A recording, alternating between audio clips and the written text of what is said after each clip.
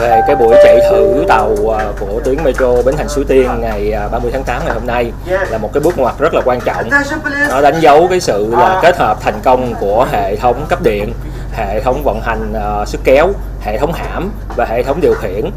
trong khu vực đề bô. Việc à, tiến hành thử nghiệm thành công à, trong khu vực đề bô của đoàn tàu đầu tiên cũng là cái tiền đề dẫn đến cái việc là thử nghiệm kỹ thuật tiếp theo của các của 16 đoàn tàu còn lại tại khu vực đề bô và tiến đến việc là thử nghiệm vận hành trên tuyến từ ờ, khu vực Đề Bô đến ờ, khu vực Suối Tiên trong cái khoảng thời gian vào cuối năm 2022 đầu năm 2023 và trên cơ sở những cái kết quả vận hành thử nghiệm như là tôi vừa nói thì là sẽ tiến đến thử nghiệm ờ, chạy vận hành trên toàn tuyến và cố gắng là đáp ứng cái mục tiêu là hoàn thành cái công tác là thi công xây dựng vào cuối năm 2023 và đưa vào vận hành.